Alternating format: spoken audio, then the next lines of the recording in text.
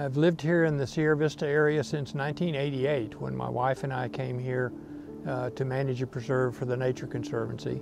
And in 1995 we founded the Southeast Arizona Bird Observatory to do science and education around birds here in southeastern Arizona and northeastern Mexico.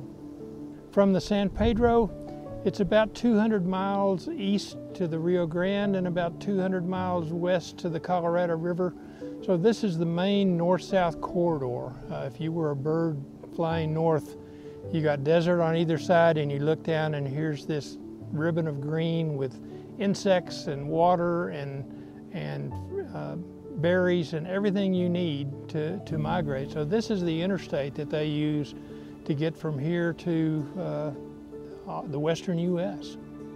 Birding and birding tourism is a multi-million dollar industry here in Cochise County. Uh, people come from all over the world to see the birds that are here and they spend money not only with the, the bird guides and things like that, but they spend money at the gas stations and the restaurants and the motels as well.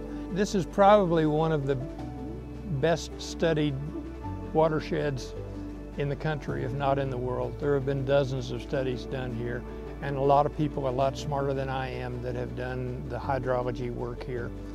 But a lot of the estimates I've heard have said, you know, it takes 20 or 30 or 40 years for uh, the impact to fully show up. And so we're seeing the river as it was impacted from development 20 or 30, 40 years ago. And, and there's been an awful lot of development since then. So there are days when I'm really pessimistic about the long-term future of the river.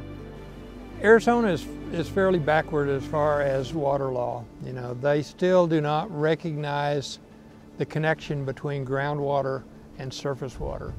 Uh, there are rules that say you can't divert this river and irrigate your cotton field with it. But you can go 30 feet away and drill a well and pump all day. I could teach a class of second graders that groundwater and surface water are connected but our Arizona law does not recognize that. Uh, and it's just a fundamental part of hydrology is that uh, you can't just keep sucking water out of the ground uh, without impacting everything. And yet we act like we can. I'm uh, encouraged that people are recognizing the importance of the river and I've seen that grow over the 25 or 30 years that I've been involved here on the river. And I see people from all over the country hiking the trails and, and walking their dogs and watching birds and enjoying the river. And I think the people, uh, the people in Sierra Vista realize what a wonderful resource this is.